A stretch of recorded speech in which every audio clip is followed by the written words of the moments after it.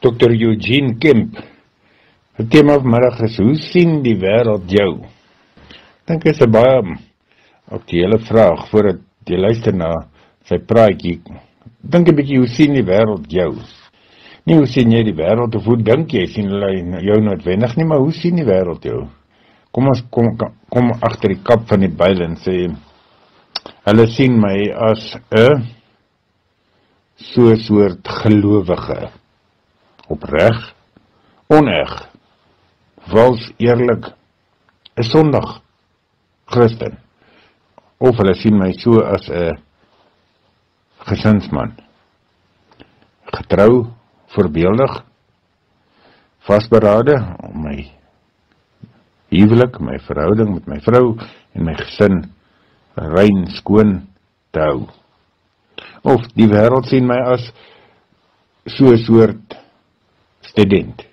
Of dit nou skoolier of student van watter aard is wat goed reg my werk doen voorberei skool toe gaan of werk toe gaan. Of dan die wêreld sien my as 'n uh, so 'n soort werker oud of jonk. Elke van hierdie fasette maar spesifiek meet ons partykeer die vereistes vir ons lewe wat ons noem sou noem suksesvol aan verskillende maatstawwe wat partykeer eintlik nie baie geldig is nie en nie baie konkreet en baie lank hou nie dit is sommer 'n tydelike maatstaf jy weet as ek in die skool is moet ek aan sekere vereistes voldoen. Ek moet sekere punte kry. As ek nie werk is, moet ek sekere salaris of status verhoging kry. En en so meet ons aan en wat sê die wêreld van jou? Wat dink jy? Maar ons gaan nou dokter Eugene Kemp kans gee om te sê wat sê die wêreld? Hmm, hoe sien die wêreld jou?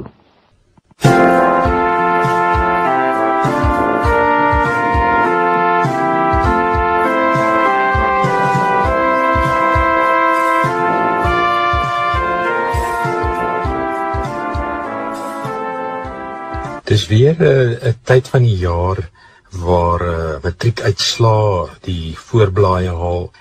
En dis 'n tyd van die jaar wat ek nogal baie wonder oor die kan ek dit maar noem oorbeklemtoning van hoeveel onderskeidings 'n mens kry en dat dit jou waarde bepaal. En ek bedoel dis nie iets niets nie. Toe ons op skool was ek op skool was was dit by dieselfde ding. Uh, daar was die top 10 en al het baie persone en baie onderwysers hard gewerk om om tog ook die gemiddelde ouens wat op ander vlakke presteer erkenning aan te gee. Ehm uh, was daar tog altyd die gevoel dat as jy nie onder die eerste 10 uh jy weet kom nie dan dan is jy eintlik niks nie. Dan is dit nie regtig uh asof jy presteer nie. Ehm um, en dat dit maar so iets van 'n middelmatigheid is wat dan uh deel is van jou lewe. Ek wil nie daarmee afbreek um, doen aan ouens wat verskriklik hard werk uh en hard gewerk het om wel die prestasie te bereik nie. Maar ek dink baie keer as ek so by werke kom en werk met jou toppresteerders, dan vind ek dat dit hulle begin definieer dat hulle sukses hulle definieer en hulle hulle waarde daaraan koppel en dan 'n totaal ongebalanseerde lewe kan lei en dat baie min dit reg kry om tog ook nog uit te kom by ander goed wat belangrik is, by verhoudings, by 'n gesonde sosiale lewe. Maar die belangrike is en en, en dis wat ek graag ook as 'n as 'n introwert wat baie keer in my lewe beleef het, ehm um, nie sigbaar, ja, amper onsigbaar is vir ander mense, veral in sekere sosiale omgewings. Ehm um, wil ek uh, graag vandag vir jou net sê, wees bereid om te waag om jouself te wees. Ehm um, God het ons verskillend gemaak. En die definisie van sukses en wat die wêreld koppel aan sukses is nie noodwendig sukses nie. En ek wil vir jou sê dat dit beteken nie jy's ambisieloos as jy gemaklik is met 'n lae profiel, nie opvallend wees, die geniet van die alledaagse en die gewone nie. En mag jou oënskynlik middelmatigheid nooit 'n minderwaardigheid word nie. Ehm um, ek dink nogal baie aan Ron Rolheiser uit hierdie volgende gebed geskryf en hy sê still the fever I inhale from all the energy that surrounds me that makes my life feel small. Let me know that my own life is enough, that I need not make an assertion of myself, even as the whole world beckons of me from a, uh, a million electric screens. Give me the grace to sit at peace inside my own life. En dan wil ek afsluit met hierdie aanhaling van Victoria Erickson. Some of us don't want to be tough alpha leaders.